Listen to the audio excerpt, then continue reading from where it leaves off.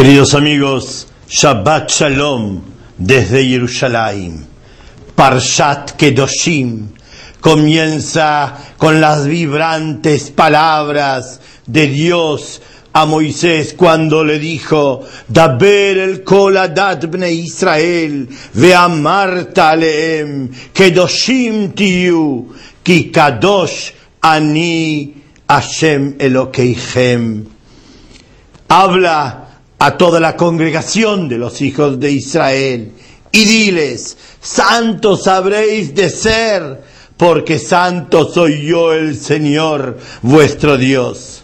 No se trata aquí de un llamado a los aristócratas del espíritu o a personas especiales con cualidades únicas. Daber el kol bne Israel. Habla a toda la congregación de los hijos de Israel, a todo el pueblo, sin distinción, a hombres, a mujeres, a niños, a todos, porque todos pueden llegar al nivel de la santidad. Querer es poder y la Kedushá, la santidad, es un nivel accesible a todo ser humano, a todos y a cada uno de nosotros. Y por eso está escrito en el Talmud, Melamet aquel.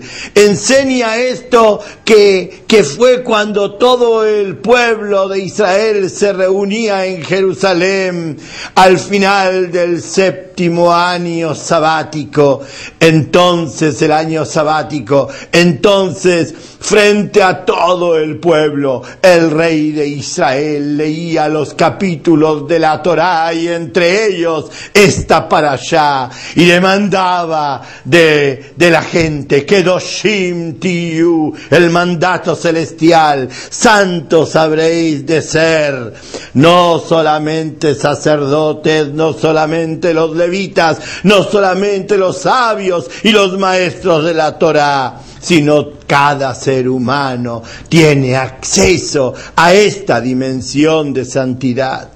¿Cómo puede el ser humano llegar a esta dimensión de santidad?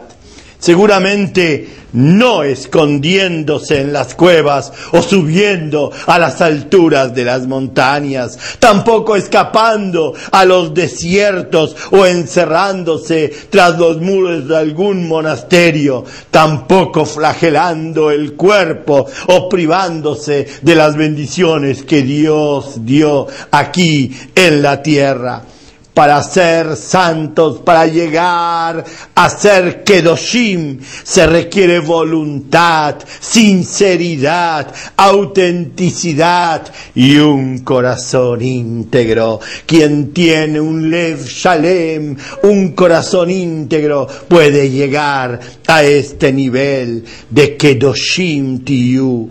Como dice la Torah,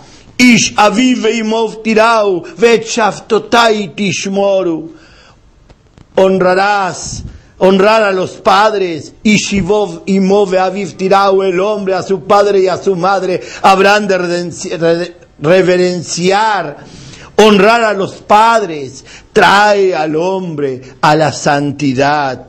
¿Hay acaso algo más simple, algo más natural que demostrar una actitud de referencia y de respeto a los padres? Pues es algo inherente al carácter humano las pequeñas cosas de la vida realizadas con integridad, con amor, con el corazón, son las que llevan a la santidad. Los actos cotidianos, simples, rutinarios, demuestran la verdadera calidad de cada individuo. No las grandes palabras, sino los pequeños detalles. Allí está la prueba. Ellos son los que nos llevan a una vida de santidad. Algunos piensan que para lograr la dimensión de la santidad uno debe desconectarse de la vida, del mundanal ruido de los seres humanos. Pero dice la Torá que doshim tiu, isha vive tirau tishmoru, santos habréis de ser el hombre a su padre y a su madre habrá de, reverenciar. Y, y, los sábados, los Shabbatot, habrá de observar, de guardar, porque honrar a los padres, guardar el Shabbat y deleitarse con el descanso físico y espiritual junto en el a la familia, al entorno social en el cual uno está insertado. Eso es la Kedusha, esa es la verdadera santidad, el contacto del hombre con el hombre, del hombre con los seres humanos. Y continúa la Torah y dice, Altifnu el Elilim, nos dirijáis a ídolos, a ídolos de piedra y de mármol y de bronce y de oro y de plata también el materialismo es un ídolo. Los ídolos provocan escapismos. Uno se escapa del propio ser en busca de, de, ídolos. Se escapa del deber ser buscando elementos que de hecho bloquean a, a nuestro ser. También las drogas y el alcohol son como ídolos. También ellos nos bloquean. Y con continúa la Torah y dice, Veloei Asu Lahem, y, y un Dios que sea una máscara no habréis de hacer para ustedes. No hay que hacer de Dios una máscara. Hay quienes ponen a Dios por delante, pero en su interior son idólatras. Dios demanda del ser humano sinceridad, devoción y autenticidad. Y por eso sobre el versículo de la Torá, vean Shei Kodesh Tiuli, y hombres santos habréis de ser para mí, dice el rabí de Kotz, que vuestra santidad sea de Anshei, sea humana. Así se logra llegar a este nivel.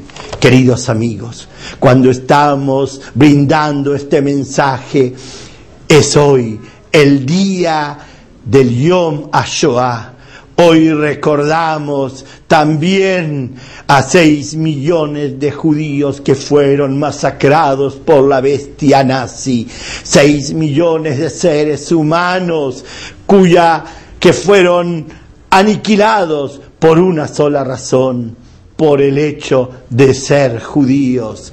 Y hoy nos dedicamos al pensamiento, a tratar de unir nuestros corazones con la memoria eterna de aquellos Kedoshim, de aquellos hombres, mujeres y niños, un millón y medio de niños que, que fueron eh, trágicamente eh, asesinados por el nazismo quiero compartir con ustedes un relato que contó alguna vez Elie Wiesel, Premio Nobel de la Paz.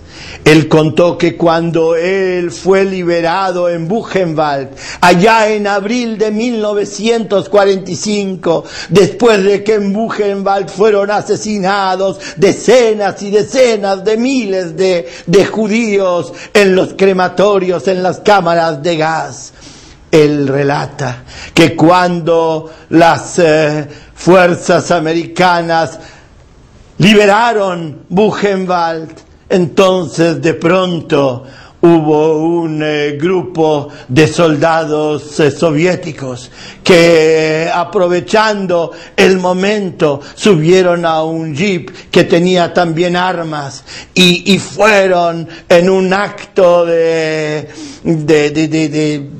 odio a aquello que les fue provocado. Fueron a, un lugar, llamado Weimar, cercano a Buchenwald, y comenzaron a disparar con las armas hacia la izquierda y hacia la derecha sin distinción y cayeron algunas personas en, en Weimar. Y entonces cuenta eh, Elie Wiesel y dice, ¿saben ustedes lo que hicieron los judíos? Pues en aquel momento organizaron Minyanim, organizaron eh, unas oraciones, decir la oración de, de Minja en ese momento. Y pregunta Elie Wiesel, ¿creen ustedes que que nuestros hermanos entonces organizaron las tefilot, las oraciones, como agradecimiento a Dios por la liberación de, la tragedia de Buchenwald. Hijo, de ninguna manera. No fue un acto de agradecimiento ni de alabanza, fue un manifiesto como diciéndole a Dios, oh Dios, Quizás tú has intentado probarnos a ver cuál es nuestro nivel, cuál es nuestra dimensión, qué sucede con el hombre cuando es fragelado y mutilado y asesinado. Y entonces, dice Wiesel, no perdimos la imagen humana. A pesar de lo que nos hicieron, continuamos nosotros siendo seres humanos, considerando que hemos sido creados a imagen y a semejanza de Dios. Ese es el mensaje judío, el humanismo, el humanismo que quiere buscar aquí en la tierra, traer un poco de cielo al mundo de los hombres. También esta es una enseñanza en este día. Quizás la inspiración estuvo en Parshat Kedoshim. Shabbat Shalom. Niños a todos, porque todos pueden llegar al nivel de la santidad. Querer es poder y la Kedushá, la santidad, es un nivel accesible a todo ser humano, a todos y a cada uno de nosotros. Y por eso a los aristócratas del espíritu o a personas especiales con cualidades únicas. Daber el Kol Adat Bne Israel. Habla a toda la congregación de los hijos de Israel, a todo el pueblo, sin distinción, a hombres, a mujeres, a Queridos amigos, Shabbat Shalom desde Jerusalén. Parshat Kedoshim comienza con las vibrantes palabras de Dios a Moisés cuando le dijo, Daber el koladat Israel, ve a Marta.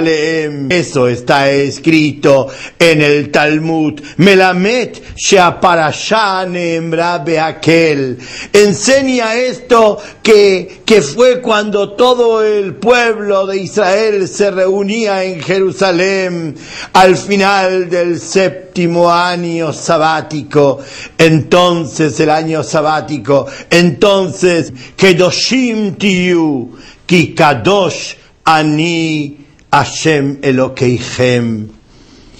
Habla a toda la congregación de los hijos de Israel y diles, santos habréis de ser, porque santo soy yo el Señor vuestro Dios.